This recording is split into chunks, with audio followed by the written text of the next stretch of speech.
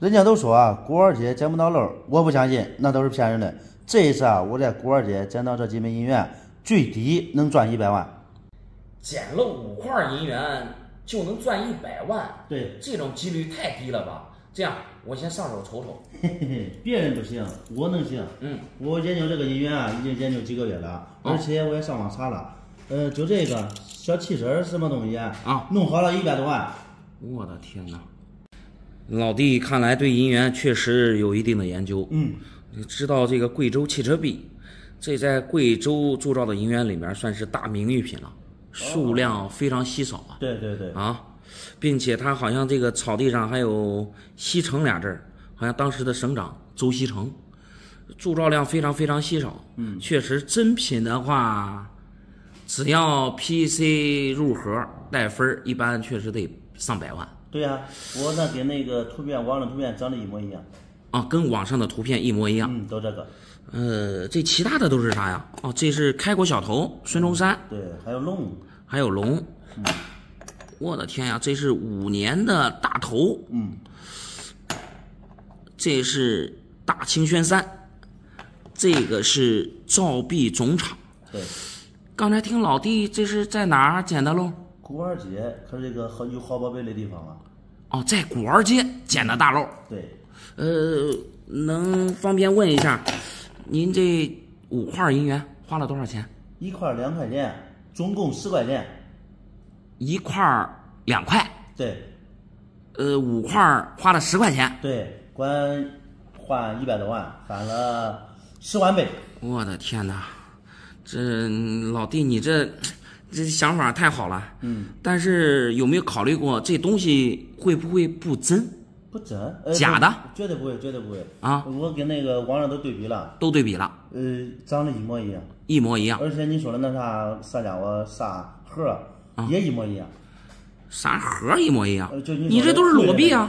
就盒它也能看见这个长什么样嘛，给它比了都一样。啊，人家盒子里面的。对。你这是裸币。嗯，我没盒，他有盒。你不行，我找人给你打个盒给你也行。哎呀，嗯，老弟，我先跟您说一下啊，这五块银元呢，嗯，如果让我们懂行的行内人来看，全部都是一眼假的，假的。假的？对，不可能，不可能。我玩银元那么长时间，我这个眼里啊，知道我过手的银元都是真的，一个假的都没有。都是真的。对。呃，不是，老弟，你这玩多长时间了？银元？嗯，从去年断断续续的有六个月、七个月，玩银元六七个月了。对，过手的银元没有假的，没有假的，一天过手几万块。那古玩街净是银元，多得很，哦、而且都是贵的。老弟经常逛古玩街，对，是这老弟，你可能之前没有玩过真品，嗯、我给你简单的讲一下啊。好，咱从银元的基础知识讲。嗯，银元，银元，顾名思义，它最起码得是银的吧？对。但是您这五块，说实话，没有一个是银的。你咋证明它不是银？你的眼又不是机器，我看着就是跟那一模一样。光听这声音就不是银的声音啊！银的声音就这样，呼啦呼啦的，它是往下沉的声音，这是往下飘的。哎，我听着也都是往下沉的。这那这老弟，我看着反正是不太对。嗯。你可能是我这边吧。对这个银元的知识还不够了解，您再找其他人看看。哎，好好好，我知道你的套路。你你不是看我十块钱翻十万倍，你羡慕嫉妒眼红啊？对对对对。我多少钱拿了啊？你看你看你能出多少？我出不了钱。呃，老弟，你就是说你玩银元玩这么长时间了，嗯，你这中华民国五年的大头，你咋想的？说吧，万中无一，我都没见过。没见过。嗯。老弟，我也没见过。我见的大头银元啊，也就民国三年、民国八年、民国九年和民国十年，就这四个年份。那你们经常说物以稀为贵，没见过的不应该更贵吗？我估计这一百多万弄不住了。啊，这个还得一百多万，现在变成二百多万了。哦，这个也得一百多万。没有见过啊，都。那这样吧。啊，二百多不跟你说了，二百都给你打包给你吧，你这人实在。两百万。嗯。五块银元卖给我。对，打包给你。嗯，老弟，你这样吧，嗯，你到其他地方问问吧。你这别说两百万，你卖给我了，嗯，你就两百块，我也要不了。嗯，你我捡人漏，你还想捡我的漏嘞啊？不不不不我看，你实在，我再给你开二百万。那是别人我再给他开三百万。对对对对减一百万，你不减？行行你要不要再确认一下？我真要不了，要不了，不好意思。不要你错失了机会。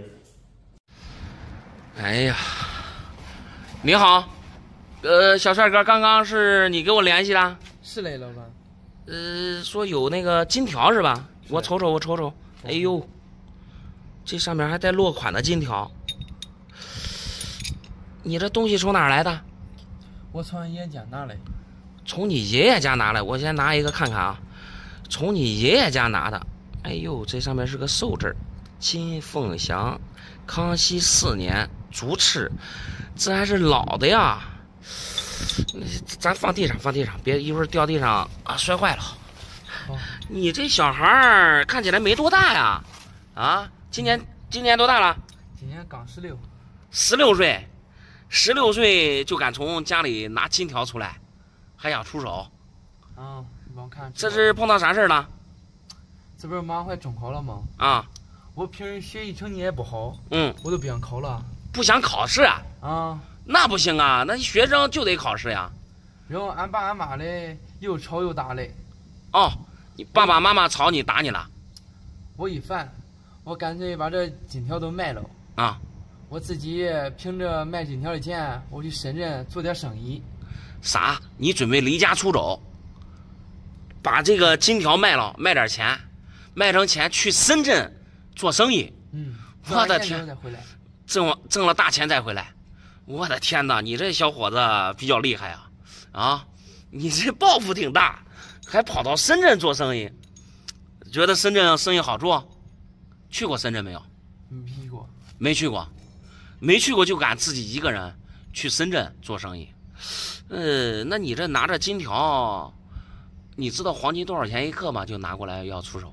我上一年金店问过了去金店问过，啊，金店多少钱一克？人家老板说七百左右吧。金店七百块钱一克，啊，你想卖七百块钱，啊？看你管收多少钱吧。看我能收多少钱？我的天哪！哎呀，小伙子，其他的先不说，我跟你说，你这想法都不对，因为你今年才十六岁啊，你到十八岁成年之后，要得到你父母的允许下，你可以出去闯荡。问题是你现在才十六岁，更何况你这马上该考试了，得安心的考试啊，不管成绩好坏吧，那你从，呃，从小学到初中。你这学了九年了，这也算是你人生的一种成长方式。不管是考得好也好，考得坏也好，你总得去面对啊。你这考试都不考了，直接跑了，你这是逃兵啊！不面对现实，这是第一点。第二点，你父母吵你，还有打你啥的，我觉得应该的。你要是我家儿子，说你这该该考试了，你不去考试，那我也得吵他，我也得打他。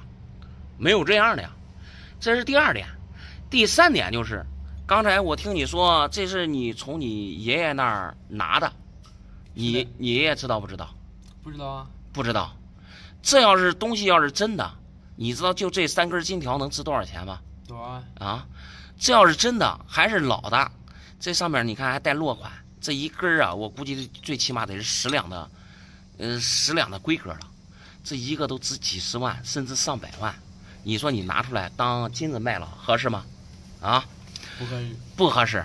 呃，还有一点，我跟你说，现在我看了一下，幸亏这东西都是假的。我看了一下，这这这什么黄金啊？这金条哪有这颜色？这一看就是假的。我估计啊，是你爷爷在古玩市场淘回来的，假的工艺品，知道吗？这也卖不了钱。你这离家出走啊，你想法非常好。得需要钱，你这东西卖不了钱，回去跟你爸爸妈妈说，呃，给你爸爸妈妈要钱，你爸爸妈妈给你钱，呃，让你出去，你再出去，因为你爸爸妈妈是你的监护人，呃，你出去，你往外跑，你首先得让你的监护人知道，明白不明白？明白了。啊，东西来拿起来，拿回去吧，还给你爷爷拿回去啊！我跟你说，这幸亏是假的，这如果要是真的。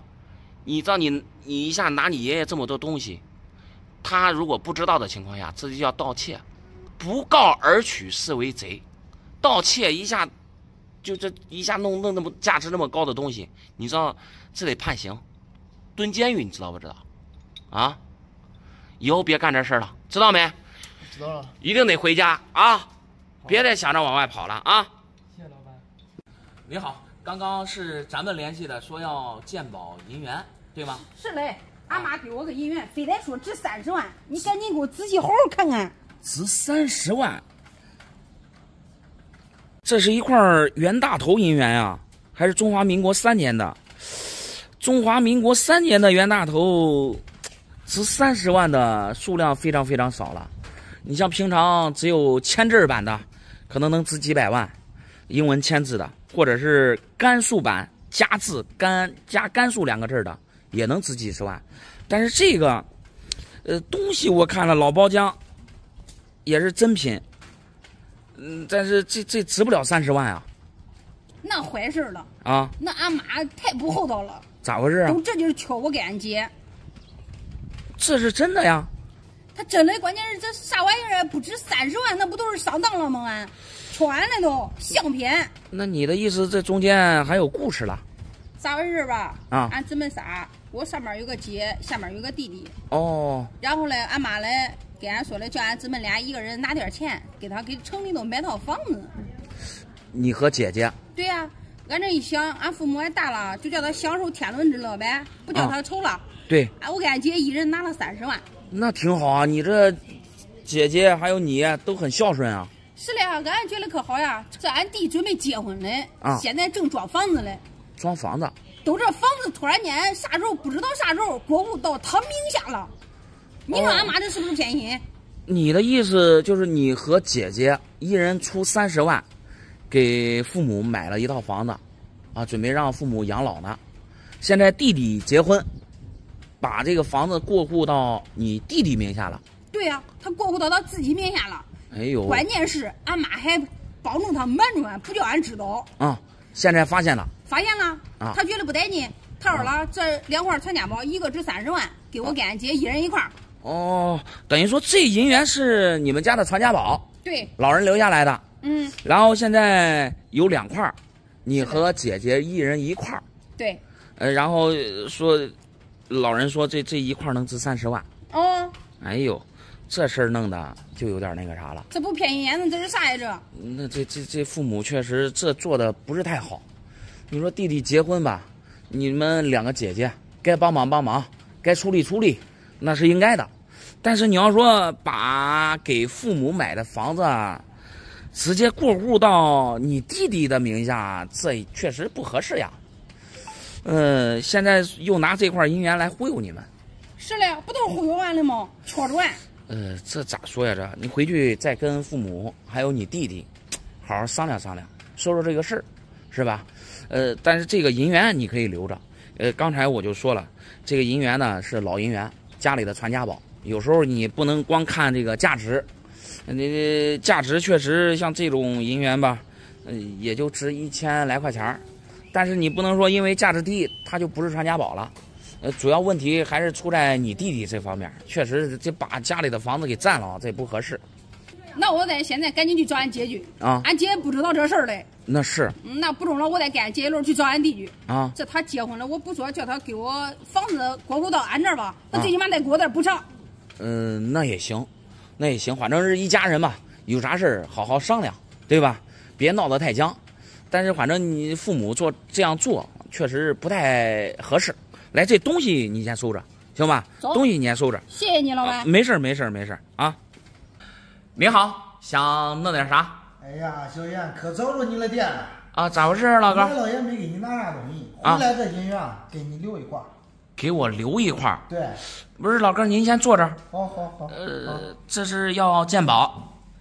鉴宝哎，这是俺媳妇的嫁妆银元。媳妇儿的嫁妆银元。值钱不值钱？行行行行。哎呦，这还不少呢。总共是几块？六块。六块。啊。行行行。哎呦，还都是批盒的。嗯。嗯，分数不管高低吧，我看还都带分儿。嗯，你看看值多钱呢？呃，我先瞅瞅，先瞅瞅，这个是九年的。嗯。不错。值多少钱？按理来讲，老哥儿，这嫁妆银元可在家里放着都当传家宝了，这拿出来卖不合适吧？俺这都离婚了，还讲啥嫁妆不嫁妆了？说起来这事儿都叫我气死了。离婚了，对呀、啥情况嗯白提了。啊？俺结婚十十来年了，哦，十多年了。三十多万不到四十万。哎呦，老哥这能力可以啊，十年攒了三十多万。嗯，你别管咋着吧，啊这个钱都在他手里放着呢。哦，前段时间啊，他兄弟结婚了，嗯，他不叫我知道，给他兄弟三十万买辆车，也不算借给他了，亲自送给他了。哦，嫂子直接拿三十万出来啊，给弟弟买辆车，就你的小舅子。对呀、我的天呀，这挺大方。不是大方，夫妻俩十几年了，你这是，就俺都不要生活，都没孩子吗？那是那是你借也可以啊。当时我说狠话了，啊要么离婚，要么叫钱要我，要么叫车开回来。啊，结果他就是给我离婚了离婚啊！就因为你说这个，嫂子跟你离婚了哎我闹了离了婚，我叫他那东西都咋咋扔扔。啊？这我看他以前那梳妆盒什么那个放东西的盒子里边儿，啊，这有这几块银元有几？块银元哎，我拿过来啊？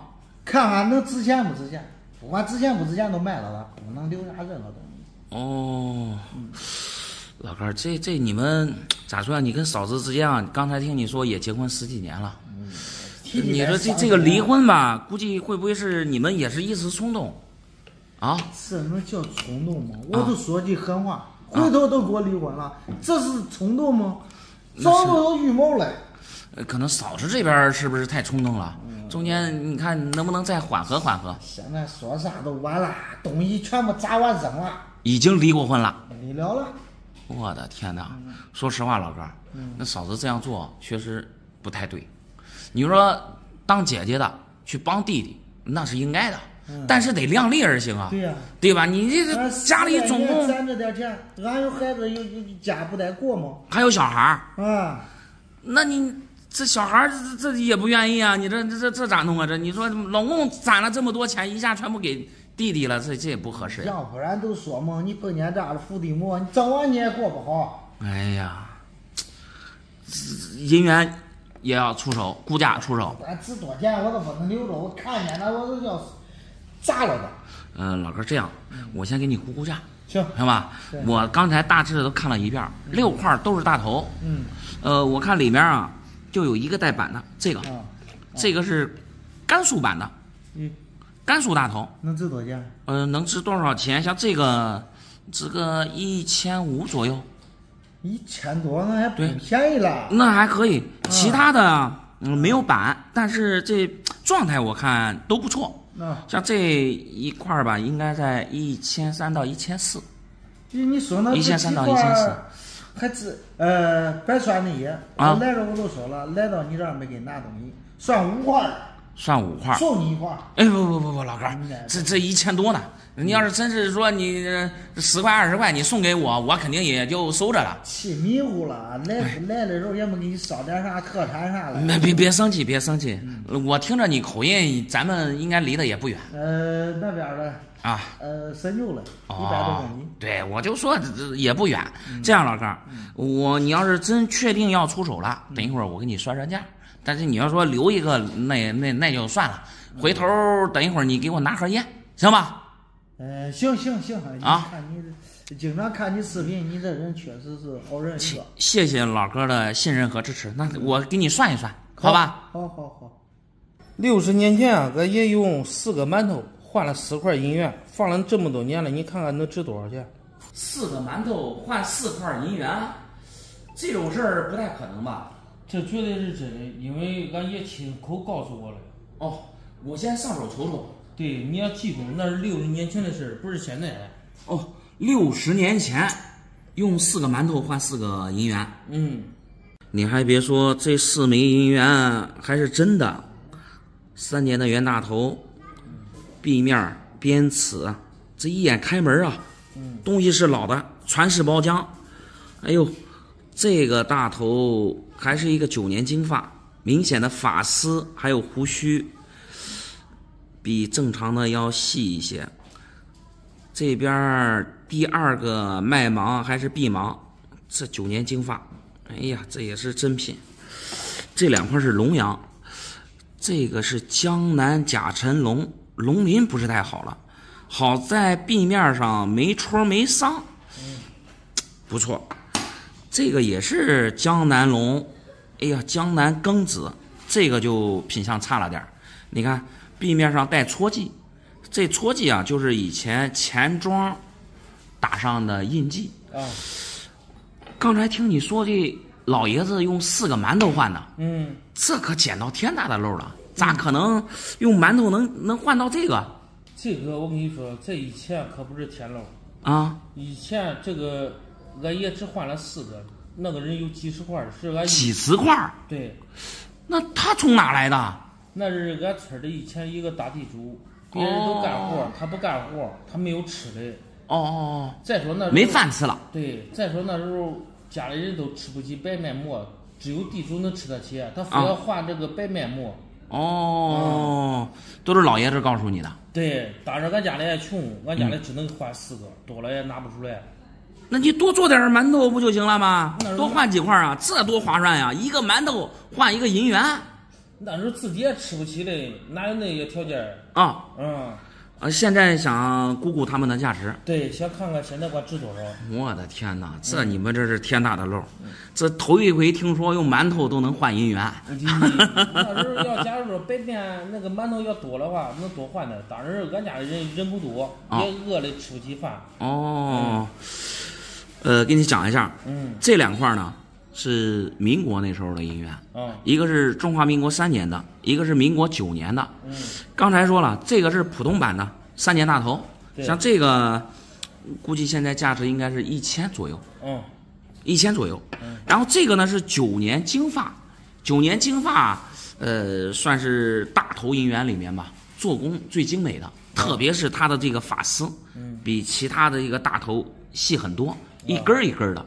像这种呢，呃，价值要比普通的要高一些。这俩龙阳就比那价值高了。一千五。呃，你先听我讲。嗯首先，这个江南甲辰，江南省铸造的银元，大部分都有这个都有戳记。嗯那在我们行内有一句老话：“十个江南九个戳基本上都带戳。像这个江南甲辰，唯一的这个优点就是没有戳记。啊壁面没戳记的话，像江南甲辰，像这个能值个两千多块钱。嗯因为龙鳞不是太好了，英文字母磨的也也看的不太清了。嗯像这个值两千多，然后再说这个庚子，江南庚子啊，算是江南银元里面夏世珍，嗯，价值最高一点的了。嗯哎，但是这个上面有戳记，嗯因为以前这是货币，啊就是当钱来用了。对呀它有没有戳记无所谓。嗯。但是咱们现在不是当钱用啊，这是当收藏品、古董啊。然后壁面有戳记，它就算是残次品了。所以它的价值有戳记跟没戳记价值相差很大。如果江南庚子没戳记的话，五千到一万都没问题。但是你这有戳记的话，也是值个两千多块钱。哦，这个也算不是太贵。对，因为有戳了嘛嗯，它就不值钱了。这拢共加在一起啊，呃，六七千块钱没啥问题。嗯，六七千也可以了。那是啊四个馒头换六七千块钱，想一下六七千块钱能买多少馒头？哎，这个啊当时俺家里太穷，俺家里要面粉多一点的话，那不是多换几十块也有了。那是那是嗯，这样，这东西啊，刚才听您说在家里放几十年了，嗯，是吧？嗯继续留着，传家宝，越放越值钱，对行吧？？你你说的对，我今天也是姑姑家啊嗯我也给给俺家里人拿回去。行行行行好好好收藏啊！好好。你好，想弄点啥？老板，你赶紧给我看这两块东西，管值多少钱，能不能弥补我的损失？能不能弥补损失？对哎呀，这两块是 PCGS 评级的造币总厂啊。看来这东西不是你的，这不是我的，啥情况呀？这是？咦，这俺媳妇的嫁妆银元，这本来啊大好的喜事，结果因为这个彩礼啊谈崩了。这结婚当天都马上举行婚礼了，嗯，他跟家伙，俺媳妇这边啊丈母娘要加一倍的彩礼，四十万。结婚当天对彩礼要翻一倍都准备举行婚礼了，啊，然后结果丈母娘说嘞，这本来之前说好了二十万是吧？嗯，这他说的再加二十万，另外再加二十万，总共四十万。他说的这是、呃、这个钱如果不到位，就是不举行婚礼了。一开始谈好的二十万的彩礼，对呀、那这马上要举行婚礼了，对呀、另外要再加一倍的彩礼，对呀、这不难为人吗？那是呀，哪有这样的呀？你不得这，我跟俺当时跟俺爸跟俺妈都商量，我说这不中，咱都拿二十万，这马上都都准备举行婚礼，不能因为这都散了是吧？嗯，东凑西凑，实在是凑不出来了，这真是实在难为人了。你想想，那是，最后后来一商量，算了，就意思是不愿意了，这个婚都不结了。不结婚了。对，那这这这个嫁妆银元是咋回事？这是俺媳妇儿啊，提前一天就拿过来的嫁妆银元。哦，这个嫁妆银元等于说你媳妇儿提前一天拿到你们家了，对，那你们现在婚也不结了，对啊，这嫁妆银元应该算是你媳妇儿的吧，你或者是你对象的呀？这现在是上岗的了。咋回事啊？这当时俺下里时候买了有五金，你知道吗？也也花好几万。结婚的首饰，对，花了好几万，他不退，他不退，我这东西我也不退，哦对，不对？我明白了。现在等于说女方扣着你的那个结婚首饰没给你，对然后呢，你想把这个她的嫁妆银元给她出手了，对，看弥补一下损损失。对对对，你结婚首饰花了多少钱？当时花了有好几万，还有五六万。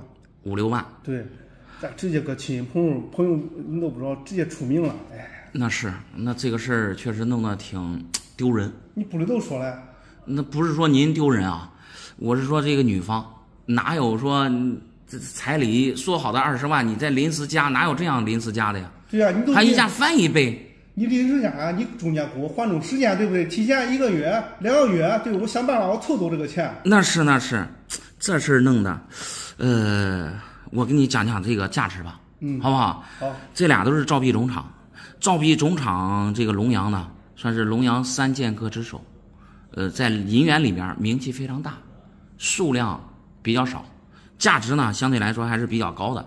像这个 PCGS 给的是 XF 九四，九四的话应该是假彩，可能是它这个上面的包浆啊是后做或者是后仰的，嗯，但是壁的状态非常不错，你看云朵、龙鳞这些细节都非常好。字口这边也是非常清晰，没有弱打的情况，呃，状态是没啥问题。像这个状态，我估计啊，能值个两万左右，两万多。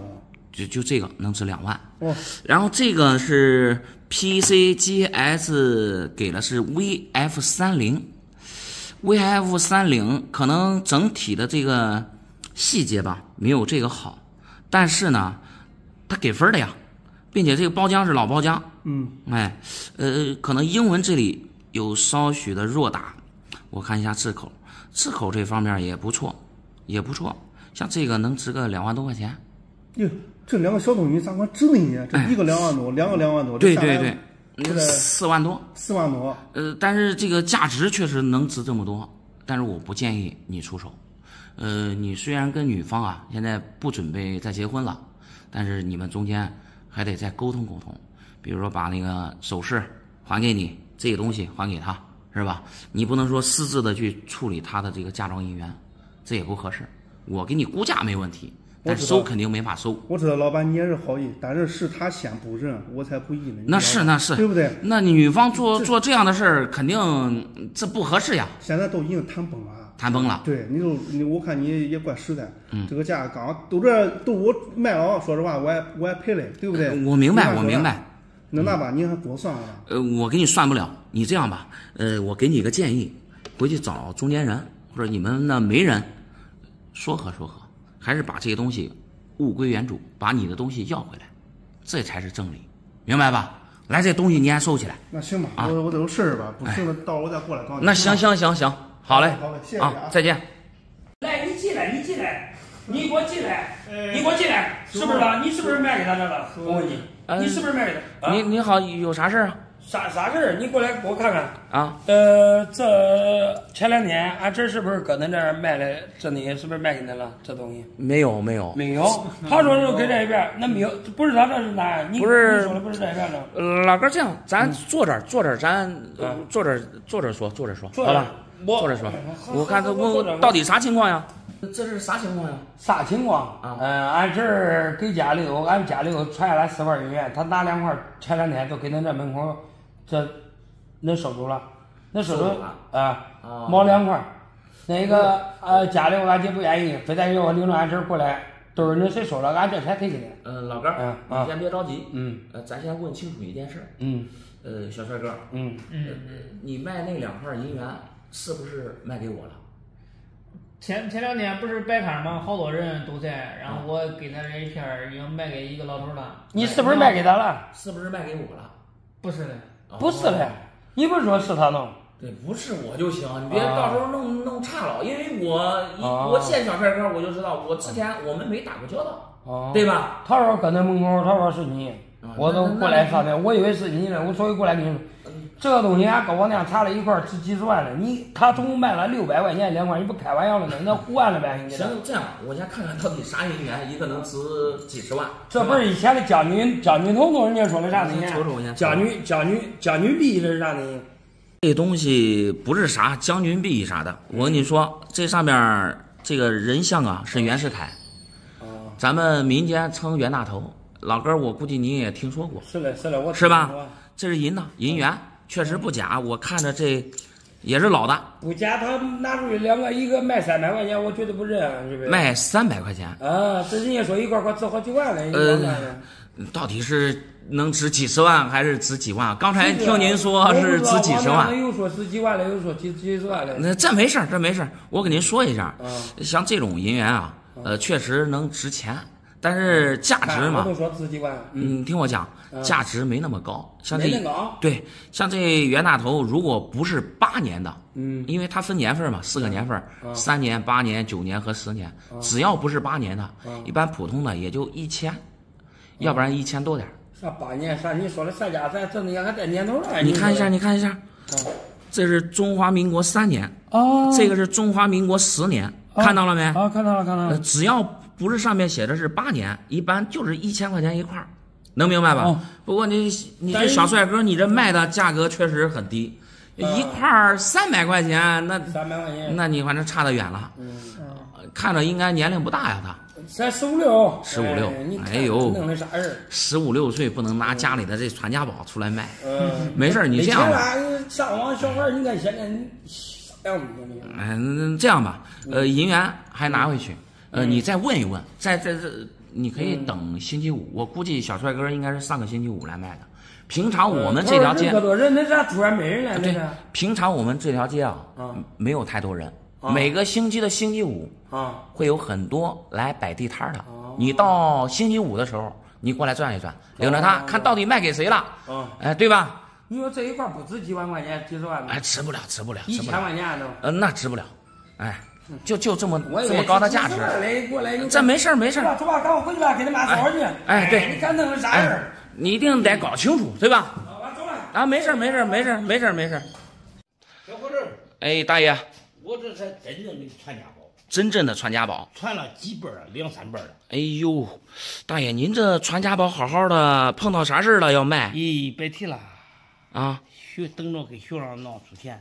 呃，我我先看看行吗？啊您打开我我瞅原瞅。来不学生上学不要钱，现在这要钱，要的还多。你说这现在我没办法，不对呀、这上学现在不都不要钱吗？都是的，我都我说的是吧？现在上呃现在他上高中嘞，哦上高中一月都要五千，谁上哪弄那些钱呢？五千，啊，这这要不了这么多吧考个学，俺希望的不能行。可是啊一说要钱，俺心里都都都都没毛了。啊，俺这人没钱，他爹给他妈已经离婚几年了。哎呦，我都我正在领着来是是原来上学不要紧，这一上高中咱要钱去了，我这没办法，啊，等于说那小孩一直跟着你跟着俺俺俺给他俺给俺老伴儿来回给他煮饭养活着，花点小钱啊，有这大钱身上哪能啊？啊？那那那平常像小孩儿的爸妈他离婚了，生活费生活费不得出吗？他不出，他根本都不管，都是俺的事儿，都是俺老两口卖的菜，啊，有十二泡烂，哎呦，这是拉的这不容易，拉到几年了，你看那小孩的爸妈呢？别提了，几年都没有信儿了。他爸离了婚，几年出去打工去了，他爸也出去打工去了，几年都没回来过了，一直去，哎，不给年年不给俺拿过来钱，他爸。哎呦，你说这小孩儿这开销平常的都靠你们哎，不很大，这些孩子叫俺弄的头蒙。这现在啊，上小学、上初中、上初中、小学那都不要钱，嗯，都要钱少，不要钱，那花学习学习资料都要钱少了。啊，这现在家还要五千，让哪弄啊？这不过是俺俺要钱，俺希望可是没有钱。这我就我这个全基本全家宝就要给你，你看管卖点钱不管卖点钱，凑点数。现在得得五千块钱。得五千块钱，这五万块钱可不不好弄。那是那是，你要是年轻人还好说一点。像您这，我看着得有 有六七十岁了六七十岁了。七十岁了。哎呀，我看了一下啊，你这东西还真都是老的。都是老的，好放好些年了。啊，都是老的。这俩是崇宁通宝，哎呀，还是蓝色的包浆，挺漂亮。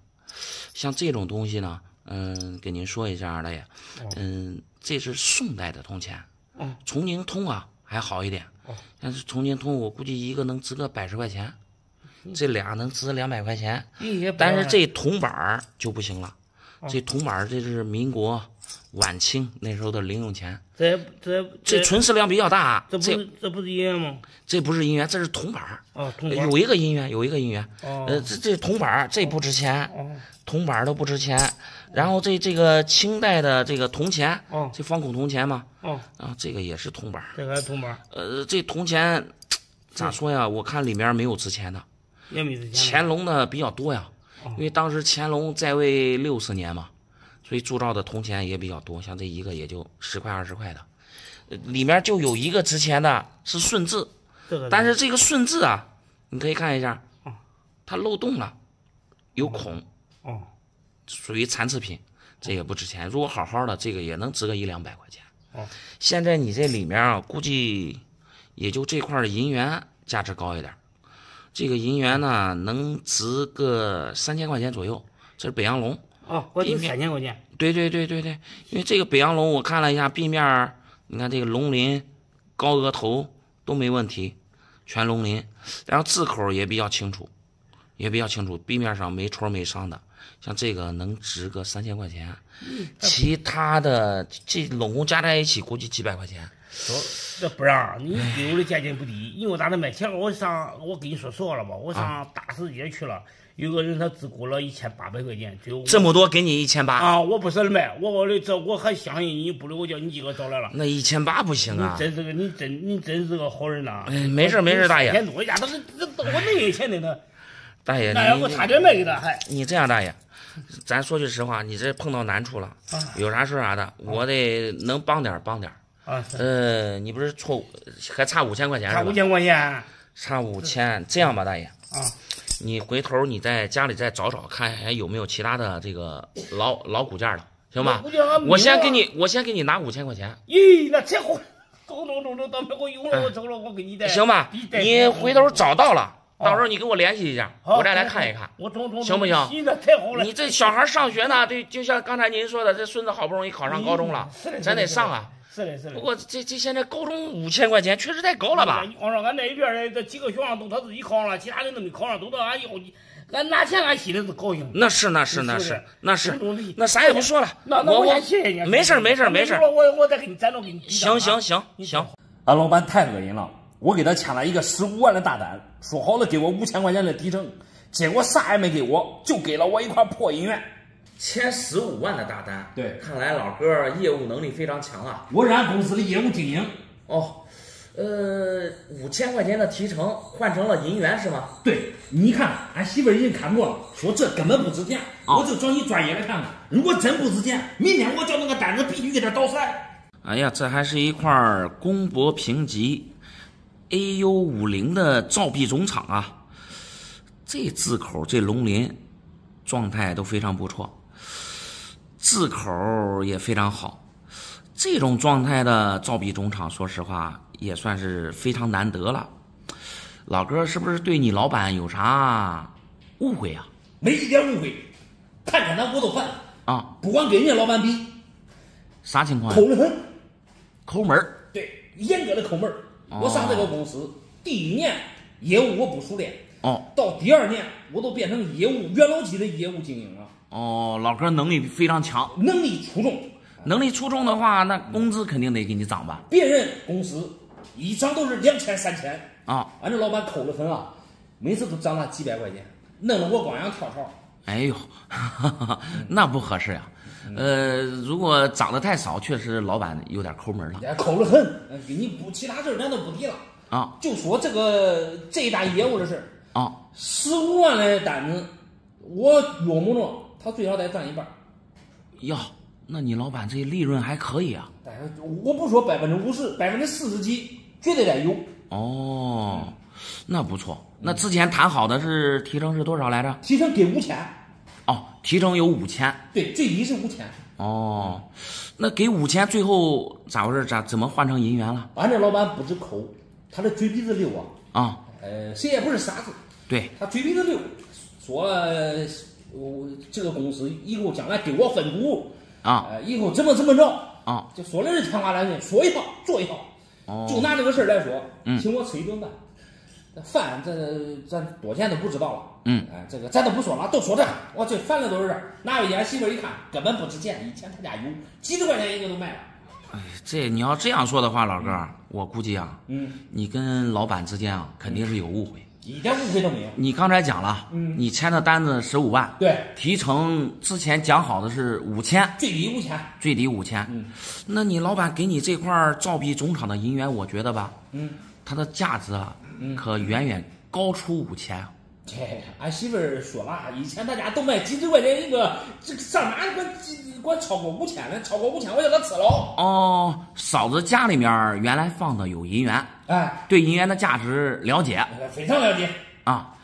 呃，嫂子说这东西不值钱，他说要是值五千块钱，呃，咋着咋着，反正我感觉了，叫你专业的看看，如果真不值五千，那个单子我必须得给他弄光。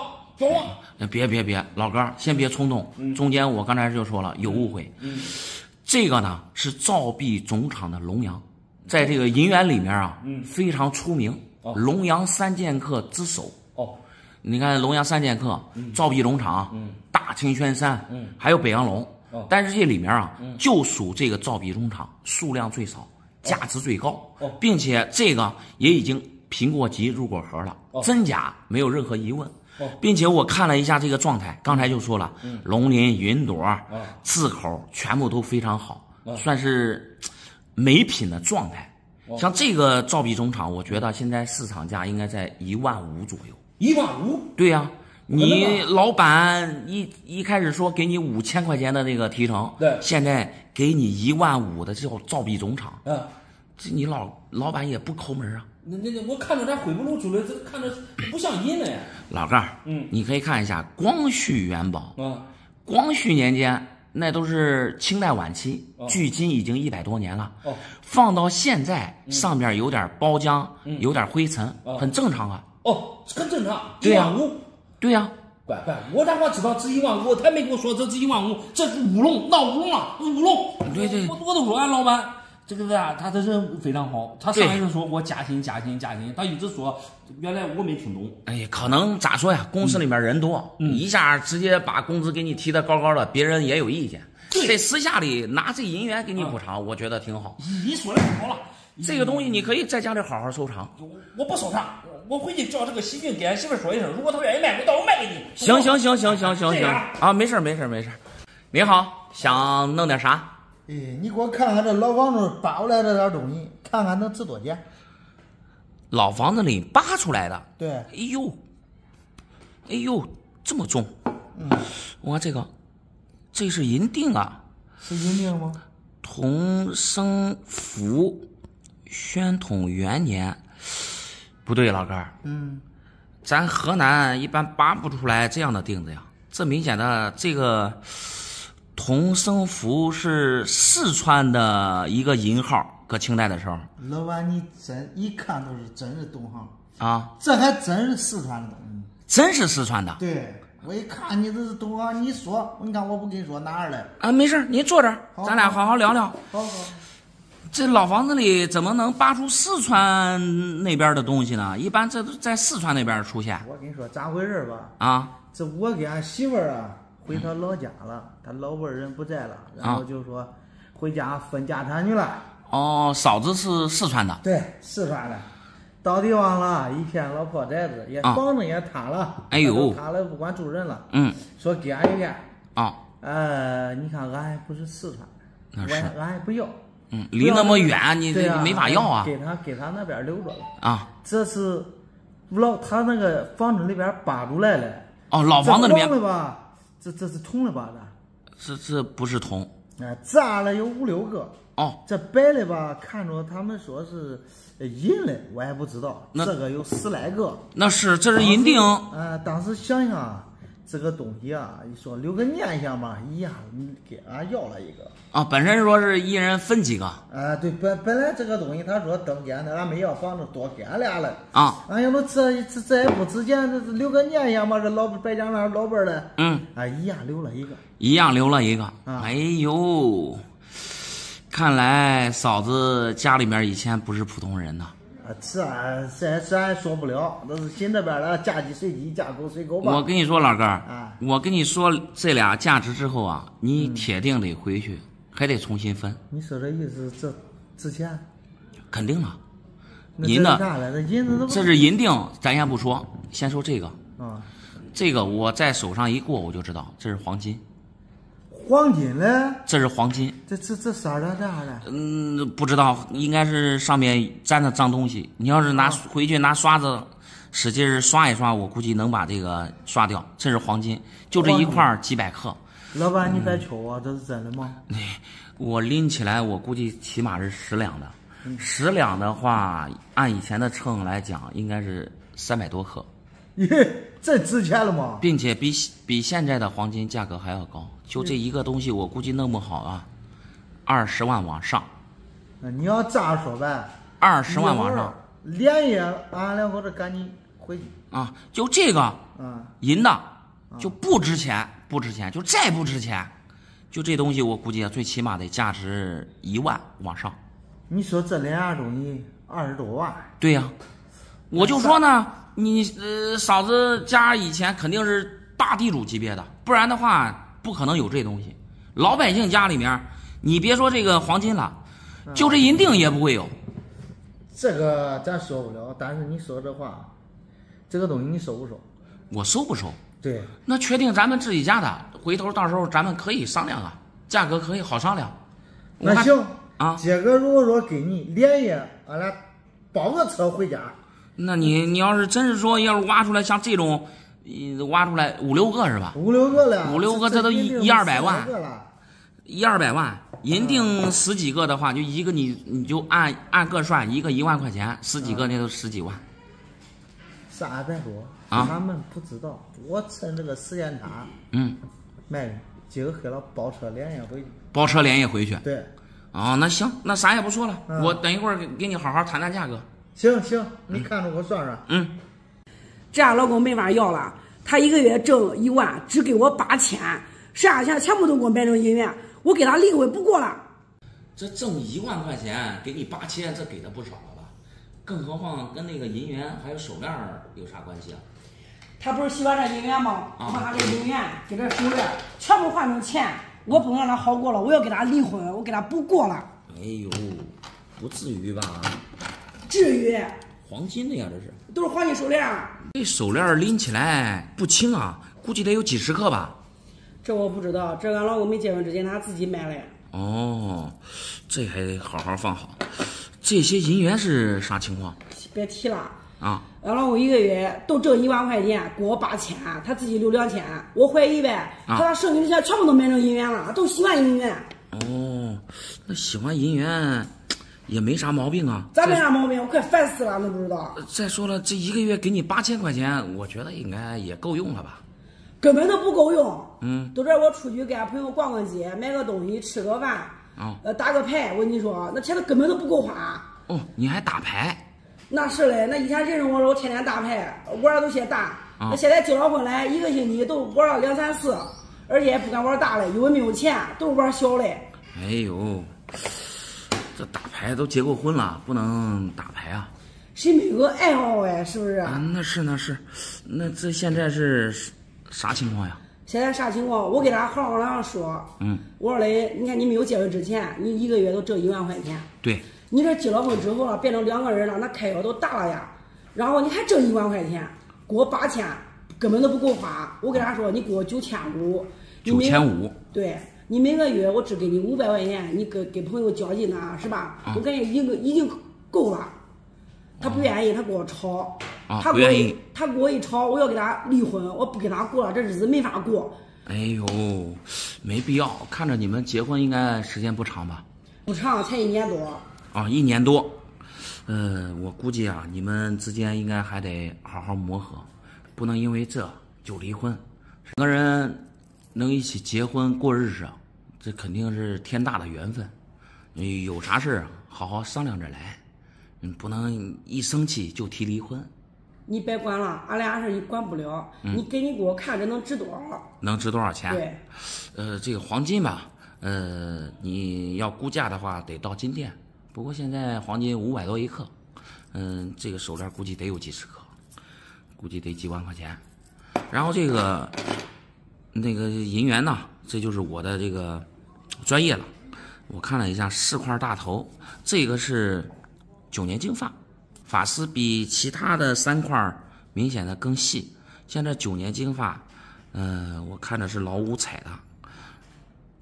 PCGS 给的是 XF 九七，虽然没给分，但是这个状态非常不错，发丝非常漂亮。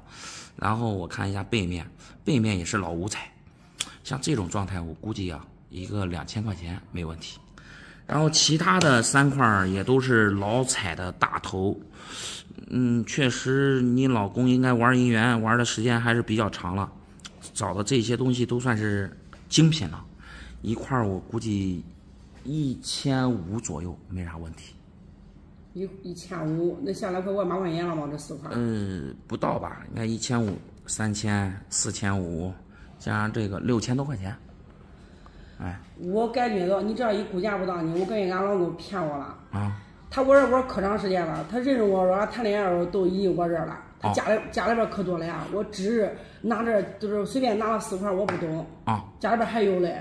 那玩是挺好啊，你老公玩有多长时间了？得有七八年了。七八年？啊。哎呦，七八年的话，你老公如果一直收藏这个，我估计肯定是赚钱的。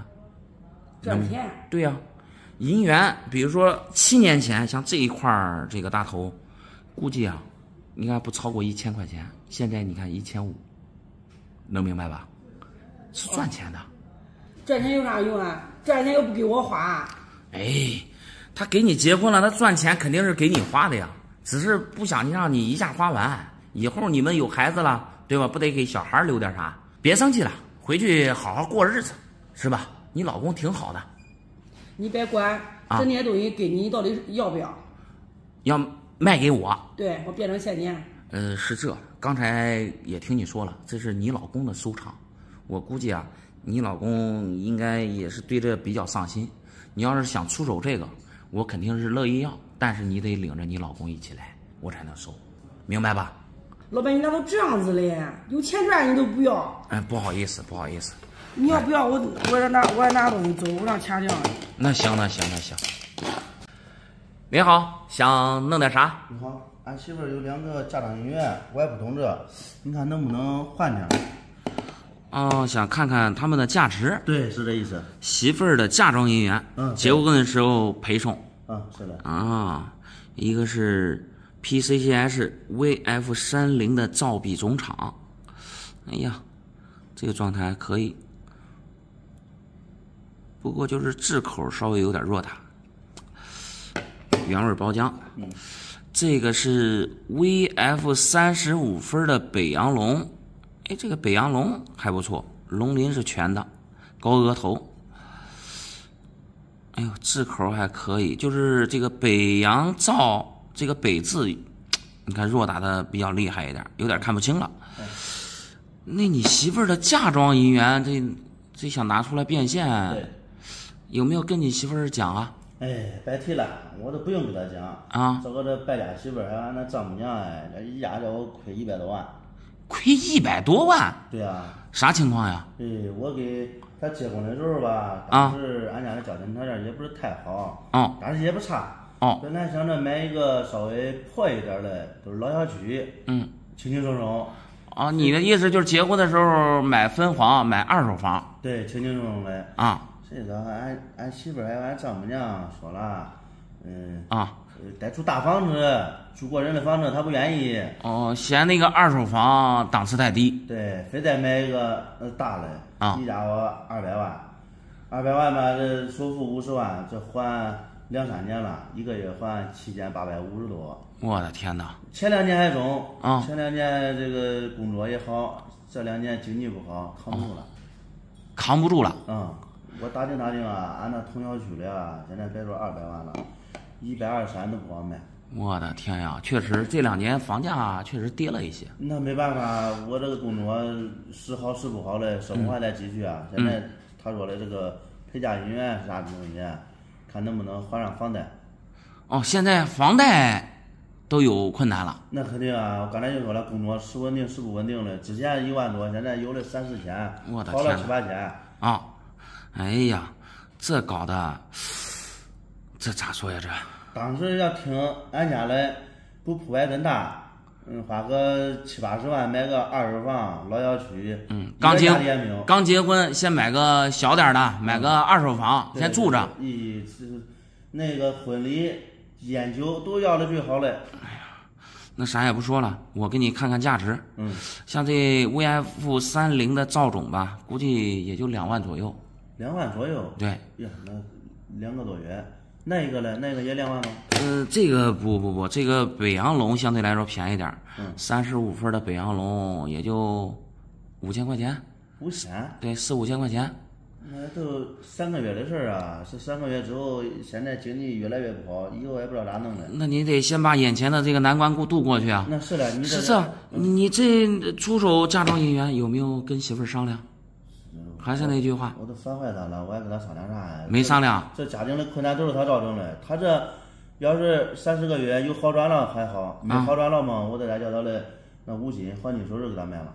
结婚的时候买的黄金首饰。对你这首付赔完了，又装修又花三四，那是你不能叫房子收走吧？呃，小两口刚结婚，肯定会遇到这样那样的困难，但是有啥说啥的，嗯，商量着来。你得先回家跟他说一下，因为毕竟这个嫁妆姻缘，嗯，这娘家陪送的，那归属权，说实话是你媳妇儿的呀，你得给他说啊，对吧？你不说这这东西谁敢谁也不能要，对不对？你说的也对啊，虽然说有点矛盾吧，哎呀，赔这些钱我也有怨言，那是，但是这些东西啊，为了家庭和谐，还得跟他商量商量。那是，那这样吧，啊，我这先拿回去，你这个老板是实在的，对，你给的最高。嗯，不行的话，现在金价还高，我直接下午带着他的首饰啥东西一块来算了，对，好吧？我给老弟，我没啥问题。哎呀，老弟，我跟你说，嗯，想开点你不管房价高或者低，嗯你也不可能卖，因为你们也刚结婚，对不对？那是你们的家呀。嗯、现在是跌点以以后说不定再涨上去呢。哎，心里也不要有太大的压力。你没有我这个环境，我一个月万八块钱，跌七八十万，十来年不吃不喝都弄不了，谁受了了啊？好，谢谢你了，我呀。啊，没事没事没事。俺老二留下来这个东西啊，有金子有银子，现在叫我跟俺老表俺俩分的，你看看金子值钱还是银子值钱？这姥姥看来是非常有钱啊，留下来的有金子有银子。那是的，俺这老爷那上一辈啊是以前有名的大地主，这东西你得看看。哎呦。黄金手镯，嗯，还不轻啊。对，呀，这些都是银锭啊。我本来想要这个金镯子的啊，但是旁边人都说啊，这个银子是老古董。银子，嗯，那确实。说比金子还值钱了。我说我叫你看看，这些都是老银锭。嗯，这总共是十斤。十斤，称过重了。称过重了。我拎一下，哎呦，就是特别重。这个金子是四十五克，我也称过了。这个，嗯，四十五克。对，其实。你要是对这个懂的话，嗯，很好算。为啥？黄金最容易算了。现在黄金大盘应该五百五左右一克。对，两其实多重来着？四十五。四十五克。嗯这样咱能再重新称一下。行，你称。呀，你还别说，真是四十五克多，这个四十五点三克对，这个我称的跟你用的称是一样。啊，确实得两万多块钱。啊，对。哎，然后对这个银子不懂啊。哦，对银子不懂，嗯，没事儿，我给您看一下，我都能倒出来看看吧，可以随便看，倒出来看看。这东西摔不坏。行行，嗯，我帮帮你。哎呦，哎呦，哎呦，哎呦，我的天哪，果然是以前的老地主。啊，普通老百姓家里面怎么可能有这个呀？对，这只有以前的大地主家里面才会有这种银锭，嗯，而且非常多，非常多。那是这里面少说得几十个绝对有啊。啊，有。呃，我先给你讲一下啊，嗯呃，确实都是银锭，并且这种银锭含银量还非常高，嗯一般在百分之九十五到百分之九十九之间。啊，这这含银量可以。嗯，可以，但是这属于民间的素银锭，啊上面没有落款。如果上面啊，它有落款，比如说是哪个工匠铸造的，嗯，在哪个地方铸造的，还有在什么时候铸造的，嗯如果有这些落款，那就是官定了，这就是民间的钉子。所以说，俺都看不懂，我都不知道。我说真正的看那个电视剧上面有年月，真没有。那是那是，嗯哎，呃，官定的话价值嗯特别高。你像这种五两的，我估计这个应该有五两，嗯像这种五两的钉子，一个能值好几万。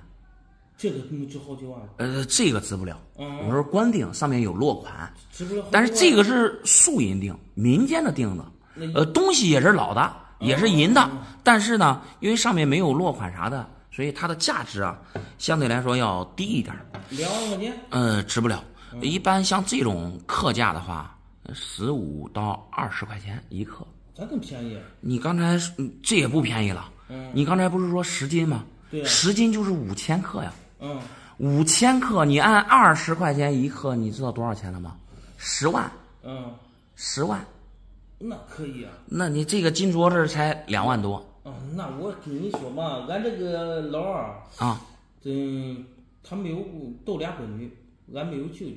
哦，没有舅舅，嗯，然后说的，俺给了俺这个老表就是意思平分。哦，一一人人选一样。一人选一样。啊，对啊，你要金子，不能要银子对，一开始他也想要金子，啊我也想要金子，啊。这一弄，这金子我也不管要了。那你要是按价值的话，那肯定要这个更好一点。嗯因为黄金，咱说句实话，你这啥时候有钱，啥时候就能买。对这种呢，这最起码的一百年以上了，这是古董，反正是放的时间长了，越放越值钱，哦明白吧。那肯定呀！嗯你要现在不缺钱的情况下，可以继续收藏，现在是不缺钱，当传家宝一点问题也没有那我都当传家宝留起来，啊。因为这个东西是俺嗯嗯这个老爷他上一辈留的，到俺老爷这一辈，又到俺妈这一辈，又到我这一辈，那是呀都四辈儿了，四辈儿了嗯，对，最低四辈儿了，嗯，对不对？我得留着给小孩儿，到这都五六辈了，那都那是没啥问题。嗯哎，那这咋弄？这现在东西还装起来吧？